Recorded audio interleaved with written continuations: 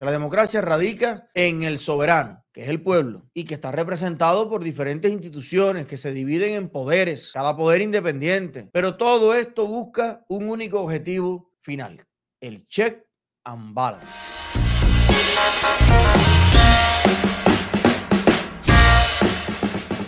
Ah, vamos a empezar por ahí, señor productor. Vamos a ver en vivo qué está pasando frente a las Cortes de Miami. Ahí está. Esta es la transmisión que está haciendo Alex Otaola. Em, hay otras transmisiones. Creo que América TV está transmitiendo en vivo también. Hay varias personas allí. Eh, ahí está toda la cobertura de prensa. Eh, han coincidido allí varias manifestaciones al mismo tiempo. Está la manifestación convocada por nuestro colega y futuro alcalde Alex Otaola y está también eh, otras manifestaciones de diferentes eh, organizaciones del exilio. han venido también americanos de otras partes de la Florida y de los Estados Unidos. Hay también alguna que otra manifestación, me dicen, no la he visto, pero me dicen que hay. Vamos a ver qué está diciendo Al. Esto evidentemente es una cacería política, es un ajuste de cuenta político para invalidar al presidente Trump a correr para las próximas elecciones. Entonces yo creo que esto no aporta nada a la libertad de Estados Unidos y yo creo que esto tenemos que definitivamente ponerle un stop y para eso estamos. Bueno, ahí están. Eh, era mi querido Hans y todo el equipo. Bueno, eh, me dicen que hay también algunos detractores personas que están a favor de que enjuicien a Trump, me imagino que serán los menos, pero están por allí también. Y solamente quería decirle a las personas que ven este fenómeno desde Cuba, desde China, desde Corea del Norte, y no lo entienden, no lo pueden entender, no lo juzgo por eso, eh, pero no lo entienden porque este es el ejercicio pleno de la democracia. Este es el ejercicio pleno de la democracia. La democracia radica en el soberano, que es el pueblo, y que está representado por diferentes instituciones que se dividen en poderes, cada poder independiente. Pero todo esto busca un único objetivo final, el check and balance. El check and balance significa que cuando uno de los poderes se limita o se extralimita o hace más de lo que debe, siempre hay otro poder que lo compensa y que rápidamente equilibra la balanza, la. Aquí estamos viendo el poder del soberano, el poder del pueblo, el poder de la gente. Y bueno, aquí cuando a una parte del pueblo americano no le gusta un proceso judicial, una sentencia, sale a expresarlo.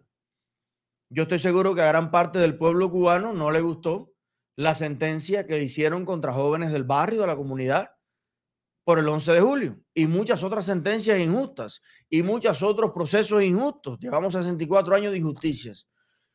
Pero la gente en Cuba no siente lo que siente el americano y lo que sienten los cubanos que, vivimos aquí. Y es que nos sentimos libres. Sentimos que tenemos el derecho de salir a la calle cuando nos dé la gana a decir lo que nos dé la gana. Y por eso estamos allí bien representados yo a esta manifestación no pude ir, voy al 99% de las que puedo, pero la apoyo, la promuevo, muevo la convocatoria y le damos cobertura aquí.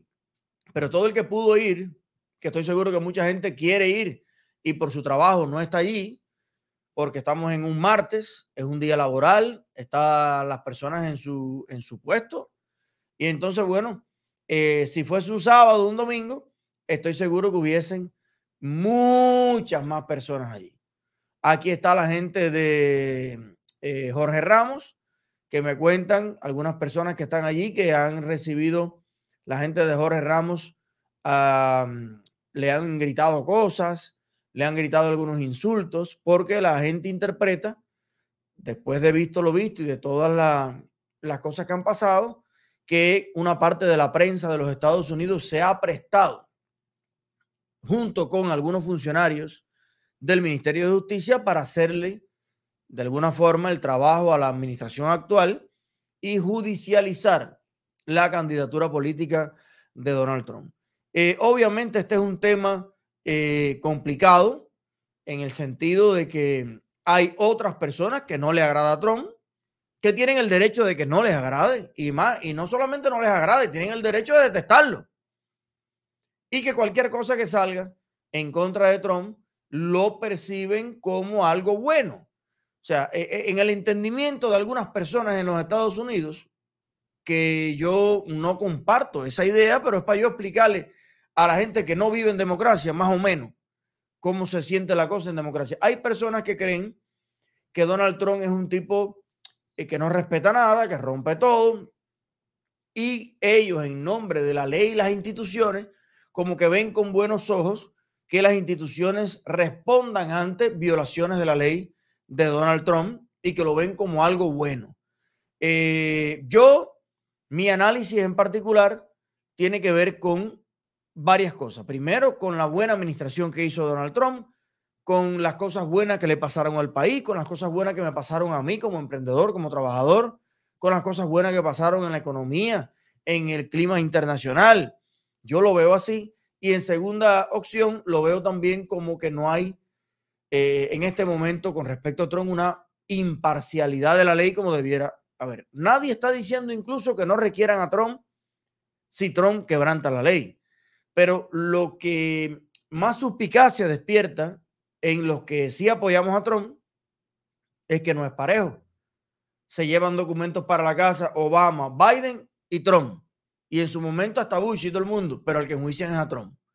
Eh, están todos los casos de corrupción y todo el tema infantil y todas las fotos locas de la de, de Hunter y la computadora y los negocios con Ucrania y la refinería y las comisiones de 5 millones de dólares y de todo y no pasa nada, como no pasó con Hillary y los emails. Entonces hay mucha gente que no es que estén diciendo no apliquen la ley, mucha gente lo que está diciendo es si vas a aplicar la ley, aplícasela a todo el mundo. Y si no se la aplicas a los demás, por razón de bien mayor, por razón de, determinadas consideraciones que tengas, entonces tenlas también con Trump. Ahora, para el cubano que nos está viendo desde Cuba, para el coreano que nos ve de Corea del Norte, que lo dudo, y para el chino que lo dudo, que nos logre ver de China y que vea esto como que, wow, se desmoronó Estados Unidos, se jodió todo. Ay, ay, Dios mío, ahora sí le ganamos al imperio, ahora sí todo. Eh, ah, bueno, yo le digo algo. Em, las democracias funcionan muy caóticamente a veces. Eh, las dictaduras nunca van a entender a la democracia porque en dictadura nada de esto existe. En dictadura es todo se ratifica, todo se determina, todo se decide en, en una sola persona, en un solo nivel y la gente no tiene nada que decir. Pero esto lo que demuestra es que todavía la gente en Estados Unidos siente que es libre y siente que puede expresar su contento o descontento con esto que está pasando. Así que que viva la libertad, que viva la democracia. Yo prefiero 20 mil millones de veces las diferentes fuerzas, versiones, ideologías que se expresan en democracia que vivir bajo la tiranía de ningún dictador. Esa es mi opción. Y por eso te muestro lo que está pasando. Eh, a ver qué más dice Otaola ahí.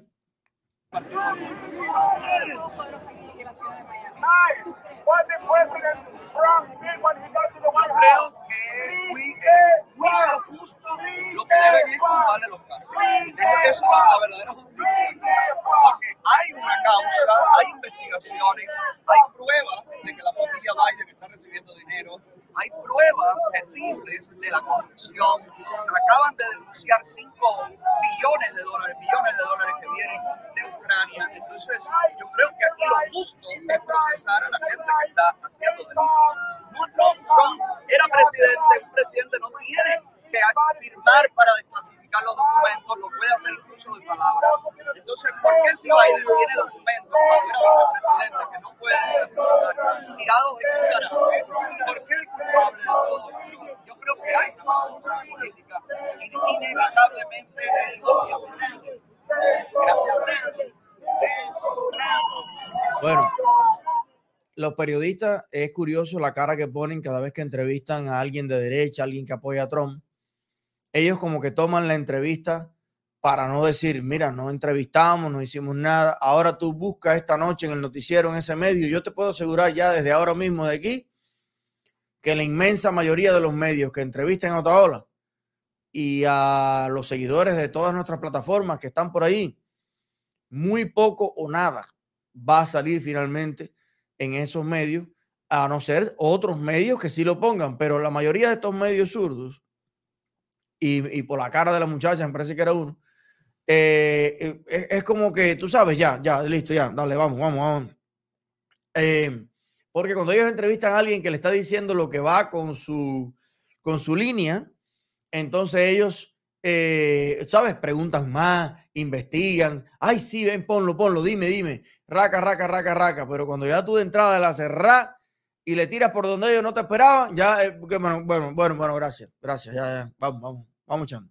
Porque yo me he dado cuenta que en democracia, mira, yo pensaba cuando yo estaba en Cuba que la libertad funcionaba de una manera, pero funciona de otra, no la que yo pensaba. Fíjate, yo opositor y todo a la dictadura, pensaba que en el mundo libre, cada medio es un garante de la libertad y la democracia y es imparcial. Eso era lo que yo pensaba.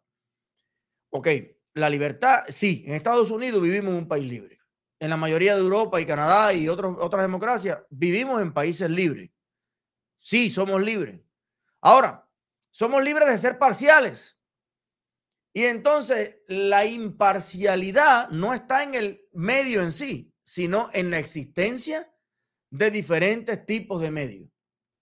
¿Entiendes cómo es la, cómo es la historia? Yo pensaba antes, cuando yo vivía en Cuba, que en Estados Unidos, por ejemplo, eh, Univisión, ya Univisión te va a hacer un debate sobre la frontera y te va a entrevistar a los que están en contra de que esté abierta la frontera, a los que están a favor de que se abra la frontera y va a buscar un equilibrio y la gente va a ver, ok, en la práctica no es así.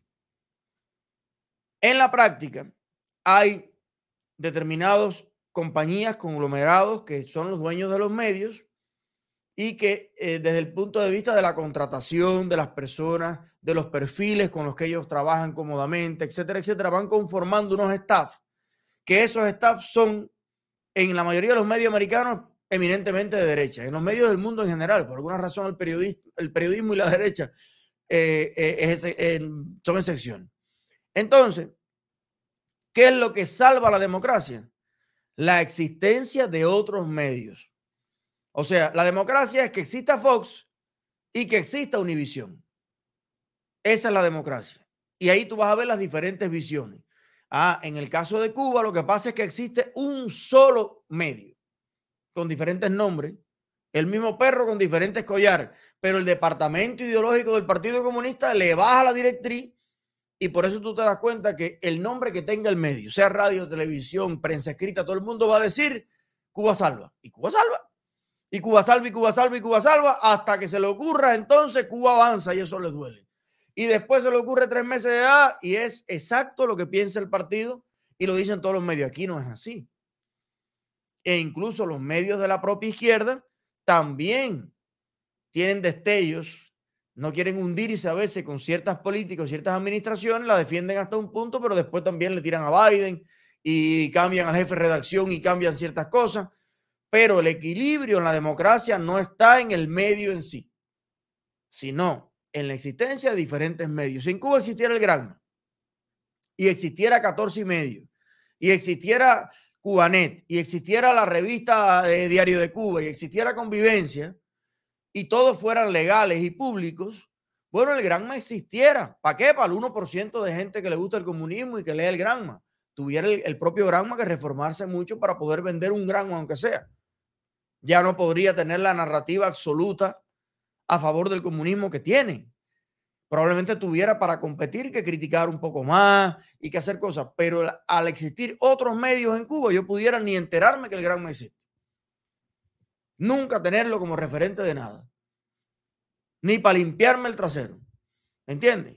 Y entonces aquí hay mucha gente que es así. Nunca ven Telemundo, que le han puesto de apodo Telahundo, y una visión. Nunca la ven ven otros medios que ya no son solo medios tradicionales. Medios tradicionales se le llama la radio, la prensa y la televisión, que fue lo que acompañó a la humanidad por siglo y pico o, o siglo y medio. Bien, pero ahora no. Ahora están las redes sociales, ahora estamos los influencers, ahora están las plataformas digitales, ahora están una serie de proyectos alternativos, están los streaming, están los RCS, están la, hay una serie de alternativas de información que van más allá de los medios tradicionales. Y hay personas que no encienden el televisor para ver noticias, no les creen, no los identifican, no les tienen confianza y siguen a medios específicos. Y de todas maneras eso va creando diferentes eh, visiones de la vida y de las cosas. Y esas visiones en casos contradictorios, en casos complejos como esta acusación, usted va a poner un dron y va a ver en la misma calle unos aquí, unos allá, unos allá. Pero eso es libertad, eso es democracia. Bien, bueno, todos los que están ahí están legales.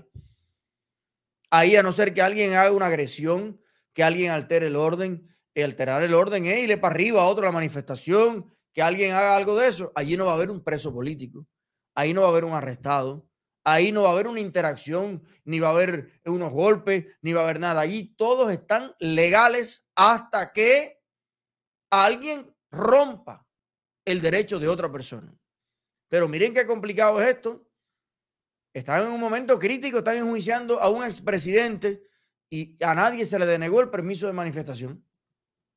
Porque es un derecho constitucional. Cuando estaban enjuiciando en Camagüey a la gente del 11 de julio, ¿a quién autorizaron a manifestarse?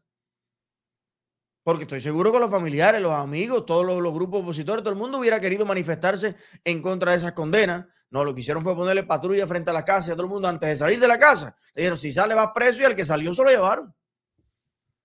Es la diferencia importantísima entre una realidad y otra, porque a veces de Cuba te dicen, ay, pero mira, y después dicen, sí, no, tengo que decirte que hay democracia porque esto es la democracia.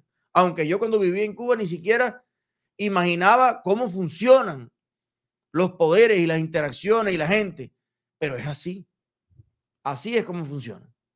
Bueno, sigue llegando, eh, siguen llegando personas. Era, justo a las 2 de la tarde la audiencia. Ya creo que llegó Trump, ¿no? Ya llegó Trump. Hay que ver por dónde lo colaron para allá. No, no vi cuando llegó. Creo que la gente estaba allí tampoco. Así que vamos a ver. Dice eh, OSI NBA. Esa es una de las razones que hace tan grande a Estados Unidos. Muchos saludos desde Montreal. Saludos, mi gente. Bueno, aquí resumen un poco, de nuevo, yo sé que la gente lo ha estado viendo, pero vamos a ver por qué es que Trump está eh, siendo acusado. Martes 13 de junio está prevista la comparecencia del expresidente Donald Trump ante la Corte Federal de Miami en el circuito judicial del sur de Florida. Los alrededores de este edificio, Wilkie D. Ferguson Jr., donde se llevará a cabo esta presentación, están bajo la lupa de las autoridades policiales para garantizar la seguridad durante la presencia de la audiencia de imposición de cargos criminales en horas de la tarde en medio de la expectativa por un hecho histórico en Estados Unidos luego del levantamiento de cargos, en su mayoría por retención deliberada de información eh, clasificada de seguridad nacional tras eh, la investigación de las cajas localizadas en su residencia de Mar-a-Lago, con documentos precisamente certificados, surgen elementos eh, de investigación que van a generar más controversia a la acusación contra el expresidente, según analistas en Constitución de Estados Unidos. Son 37 cargos asociados a unos siete delitos, de acuerdo con documentos oficiales del Departamento de Justicia. El pasado viernes, el fiscal especial Jack Smith Em, tú ves lo que te explico de los medios. Dice él que según analistas de los Estados Unidos, dando fuerza al mensaje de que está bien enjuiciado Trump. Pero yo ayer estaba viendo el programa de CAO, donde analistas, constitucionalistas, abogados de los Estados Unidos claramente decían eh, esa declaración que hizo el fiscal, esa forma, esa manera, eh, eh, todo eso es nunca visto en la historia y puede dar a entender obviamente una persecución política porque eso no se hace así. Se espera generalmente que el caso avance, que tome cuerpo, que se hagan las imputaciones y ya de la manera en que está declarando el fiscal esto, está viciando el proceso, está prejuiciando, eh, prejuiciando la opinión pública, etcétera, etcétera. Entonces, cada quien consulta a los analistas que le convienen para fortalecer su propia, su propia tesis, su propia, teoría. Por eso, ¿dónde está la democracia? Bueno, en que haya diferentes medios con diferentes analistas eh, que, usted pueda, que usted pueda ver. Eh, vamos a pasar de, de, nuevo a ver algunos clips especialmente Patricia nos manda, nuestra realtor, eh, nos manda, nuestra realtor de Miami, nos manda un clip porque está participando en la manifestación. Hoy no voy a poder estar en el programa, como ves estoy acá en la protesta a favor del presidente Donald Trump, Trump 2024, así que te estaré enviando fotos y videos de cómo está todo por acá, pero hay muchísimas personas y hay muchísima gente de la comunidad cubana y comunidad latina.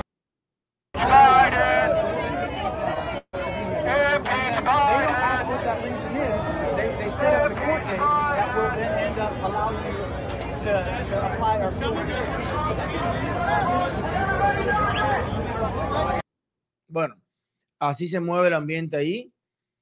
Eh, vamos a ver qué, qué sucede.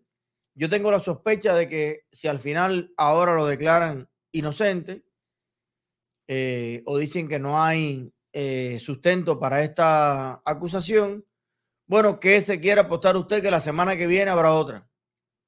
¿Qué se quiere apostar usted? Que la semana que viene ya no es por los documentos, ahora fue por una gallina que encontraron en una mata de almácigo en la cerca del en un palo al lado de Maralago. Olvídate de eso, te lo puedo asegurar que esto va a ser constante, constante, constante hasta que logren, Dios quiera que no, que no pueda correr para presidente. Bueno, tenemos conexión directa con el señor Donald Trump. A sus simpatizantes y a los trabajadores del lugar. Está recorriendo distintos puntos de la calle 8 y me cuentan que ha ido al Versalles también. Mira Iliana García, mira Kevin Cabrera, ¿no? Kevin Cabrera creo que se llama. Está allí, está allí muy cerca de Trump. La comunidad judía está saludándolo, está hablando con él, parece que es el líder de la comunidad judía. Bueno, miren que estaban criticando a, a Otaola, eh, algunos detractores porque se había unido, o sea, se había, había compartido un rato con la comunidad judía, pues parece que la comunidad judía no por gusto es tan poderosa aquí en la Florida. Miren allí a sus líderes, a sus representantes intercambiando con el que puede ser perfectamente, si eh, lo dejan en paz un mes, puede ser el próximo presidente de los Estados Unidos, que ya fue además. Ahí vemos a todo el, servicio secreto, todo el mundo. Mira cómo hablan por el reloj. Mira, mira, mira.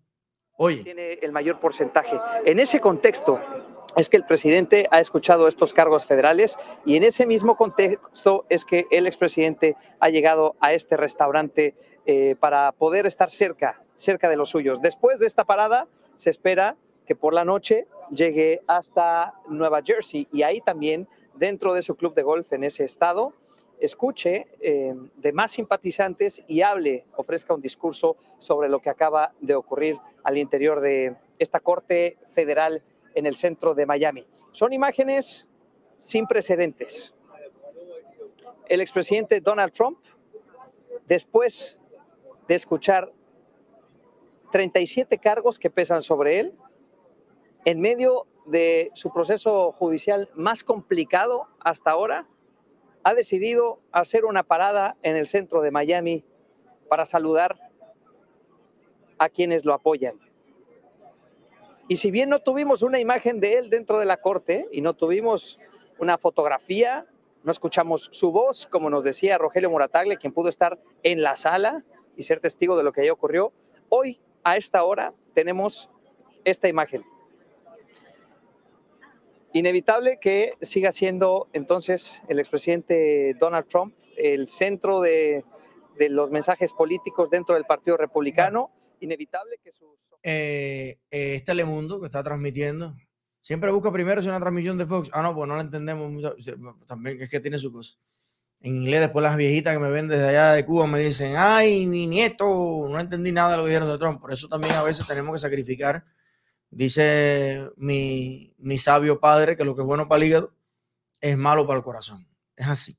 Entonces, bueno, aquí tenemos a Telemundo, eh, ahí, eh, tú sabes, con dolor, pero tienen que reconocer el, el, pueblo que tiene este, este candidato. Que yo creo que es lo más significativo aquí, porque, mira, yo te voy a ser sincero, cuando los pueblos han tenido al alcance eh, a gente que ha sido muy mala, excepto los que tienen daño antropológico. Cuba, Corea del Norte, China, eh, ven a sus amos, a sus dictadores y le besan los pies. Pero los pueblos libres, los pueblos libres, mira, Macron, allá en Europa, y muchos líderes del mundo libre no pueden darse ese baño de pueblo así, sin que venga un zapatazo, sin que venga un huevo, un huevo güero, una cosa porque, y presidentes libres y democráticos que no tienen presos políticos, que no le han hecho nada, eh, que no han fusilado a nadie, bueno, eh, no pueden hacer eso.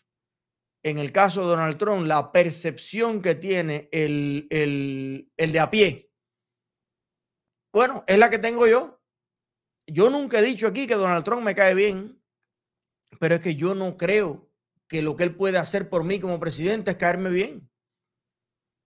Puede ser alguien que me cae muy bien y lo hace muy mal. Y me daña la economía, y daña la educación de mis hijos, y daña el país, y daña mi seguridad, y sube el crimen. Ah, pero me cae bien. No, yo prefiero uno que me cae mal, que tampoco me cae mal, pero uno que me caiga mal, óyeme, y que haga las cosas bien, y que mejore todo eso que acabo de, enumerar para mí. Y yo creo que eso es lo que siente la gente. Y aparte, con todos sus defectos, también tiene eh, muchas virtudes, pero la que más le aprecia a la gente es que es un tipo, la que más le aprecia a la gente es la que menos le aprecia el deep state. Y es la parte de lo políticamente incorrecto, que les, en el sentido de que él te dice lo que está pensando, lo que le viene y a veces dice cosas que era preferible que no las dijera. Y simplemente porque a veces los que saben cómo él piensa, las cosas saben que él no lo está diciendo por mal, pero es su manera de comunicarlo, eh, dado el perfil de un tipo que toda la vida lleva lidiando como empresario con cómo, cómo de alguna manera quitarse eh, ese deep state de arriba que ahoga aquí también a los empresarios y a lo cual él no le tiene ninguna, ninguna pasión. Entonces, bueno, ahí está la gente corriendo a ver si lo ve, a ver si lo alcanza, a ver si aunque sea de lejos el servicio secreto el día de hoy. Aplauso para el servicio secreto. El servicio secreto el día de hoy ha tenido más trabajo que en años. ¿Sabes por qué? Porque el servicio secreto, la parte que cuida a Biden, no, no tiene que trabajar.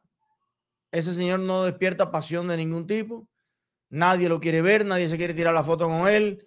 Eh, anda por la vida sin estar asegurado eh, anda, tú sabes, él tranquilamente. Ahora, donde va Trump, ahí sí hay que trabajar.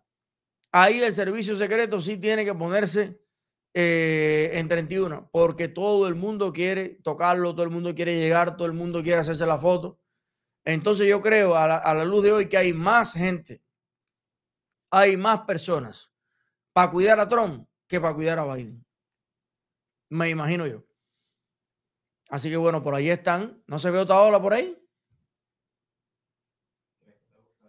Mira a ver, busca otra ola a ver por dónde anda. A lo mejor se dieron cruce, a lo mejor coincidieron en alguna esquina. Y a Kevin, Kevin es un candidato que promovió otra ola. Entonces, hay más, hay más razón para que ¿Ya se acabó la manifestación? Bueno, porque probablemente esta agenda es oculta.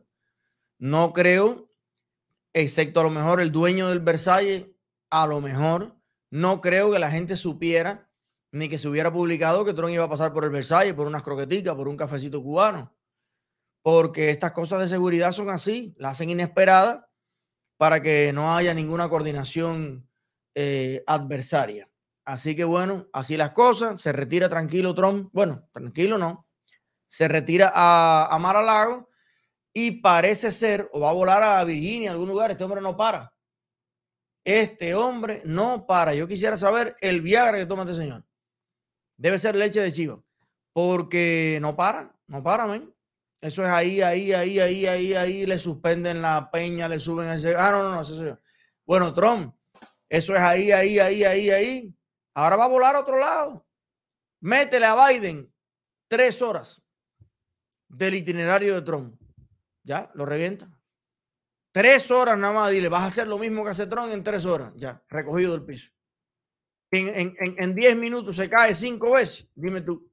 Dale, bájate el avión, sube el avión, ve para la corte, fájate con los fiscales ahí, bájate para dale para Nueva York, fájate con, los, con, con la chusma comunista de allá, dale para aquí, dale para allá, un real y la gente y te están esperando, y los empresarios y los bomberos y la policía está al lado. Yo no sé ese hombre en qué momento eh, tiene una, un momento a solas con Melania, porque Melania, Melania está muy joven. Y me imagino yo que está en pleno uso de todas sus eh, no pocas facultades, eh, que además viene de, un recorrido de Melania es fogosa. Entonces yo me imagino que Trump, a lo mejor Melania lo está esperando en el avión. Es lo que hiciera yo. Es lo que hiciera yo. Yo dijera, amor, espérame en el avión. Y ya cuando yo llego al avión, el avión tiene, tiene cuarto y tiene todo. Entro al cuarto y ya está Rachel esperándome ahí. ¿Cuántas horas para Virginia? No, media hora. Bueno, Tuti, vamos a aprovechar esta media hora y después un vuelo para allá son dos horas. Bueno, ahí, ahí vamos para la dupleta. Bueno. Latinoamérica, señores, que nos ocupa.